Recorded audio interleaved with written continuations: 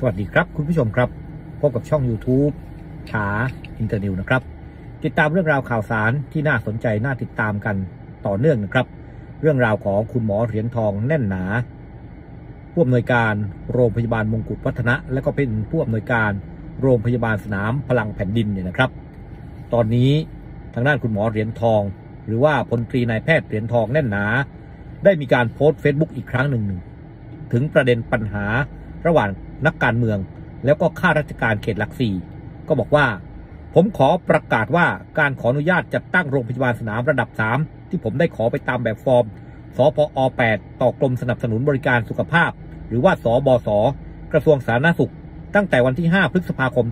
2564 นั้น หากสบศจะต้องให้ผมแนบความเห็นชอบจากเขตหลักสี่หรือผู้นำชุมชนจำนวน 100 ชุมชนโดยรอบ โรงพยาบาลสนามพลังแผ่นดินว่า เห็นด้วยเสียก่อนตามที่ ทันตแพทย์อาคม ประดิษฐ์สุวรรณรองอธิบดีสบศชี้แจงในรายการถกไม่เถียง กับสสศิระ เจนจาคะนั้นสร้างภาระในสถานการณ์ฉุกเฉิน โดยไม่สมควรยิ่ง เพราะจะทำให้โรงพยาบาลสนามพลังแผ่นดิน ต้องเลื่อนการเปิดไปอีกนานกว่าหนึ่งเดือน และจะส่งผลให้ผู้ป่วยโควิด -19 อาการหนักที่โรงพยาบาลรัฐต่างๆ ทั้งรัฐและเอกชนจะส่งตัวมา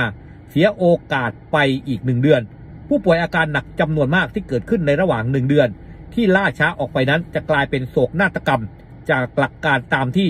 รองอธิบดีสบศกล่าวในรายการถกไม่เถียงนี่แหละครับข้าราชการไทย ดังนั้นผมขอประกาศให้ทราบโดยทั่วกันว่า ผมจะไม่สนอะไรทั้งนั้น ผมจะเดินหน้า โรงพยาบาลสนามพลังแผ่นดินต่อไป เพื่อจะรับการส่งต่อผู้ป่วยอาการหนักจำนวนมากให้ได้ ผมจะไม่สนใจไม่ยีระกรมสนับสนุนบริการสุขภาพ ผมถือว่าผมกำลังปฏิบัติการรบในสงครามโควิด ใครเรื่องมากไปไกลไกลตีน โรงพยาบาลสนามพลังแผ่นดินขอเป็นโรงพยาบาลเถื่อน โดยไม่สนใจว่าจะผ่านไม่ผ่านหลักเกณฑ์ของสบศและหากเป็นโรงพยาบาลเถื่อน แล้วก็ไม่สามารถเบิกเงินจากสำนักงานหลักประกันสุขภาพแห่งชาติ สปสช ได้ ถึงแม้ค่ารักษาพยาบาลผู้ป่วยโควิด -19 อาการหนักต้องเข้า ICU นานนับเดือนมีค่าใช้จ่ายในการรักษาพยาบาล ต่อรายคนหลายแสนก็ตาม เมื่อรวมผู้ป่วยอาการหนักจำนวนมากถึง 300 เตียง ก็จะเป็นภาระทางการเงิน หลายสิบล้าน ผมก็จะเดินหน้าต่อไป ผมถือว่าชีวิตที่สูญเสียไปแล้ว เรียกคืนกลับมาไม่ได้ เงินที่ผมจะสูญเสียค่อยไปหาใหม่ ในภายหลัง ผมจะพิสูจน์ให้นักการเมืองข้าราชการที่ไม่รู้จักบริบทของตนเองในสถานการณ์ฉุกเฉิน และยังคงปฏิบัติงานอย่างซื่อบื้อตามขั้นตอนสถานการณ์ปกติ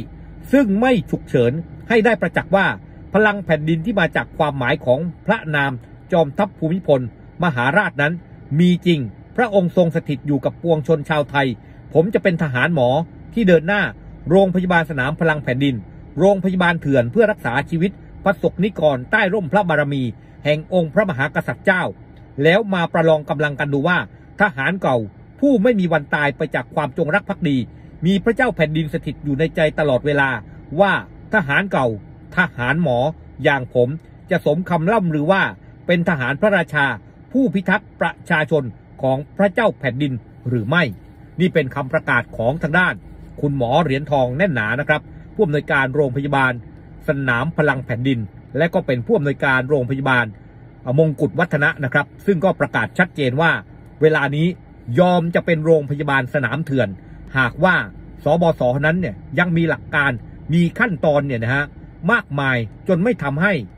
โรงพยาบาลสนามพลังแผ่นดินนั้นดำเนินการได้ภายในเวลาที่กำหนดเอาไว้เนี่ยแล้วมันทำให้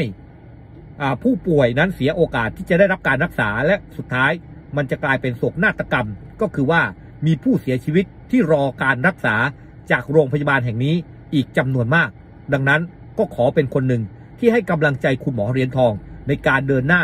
สร้างโรงพยาบาลสนามแห่งนี้ให้สำเร็จเพื่อจะได้ทำตามวัตถุประสงค์ คือรักษาผู้ป่วยอาการหนักที่ติดเชื้อโควิด -19 ครับ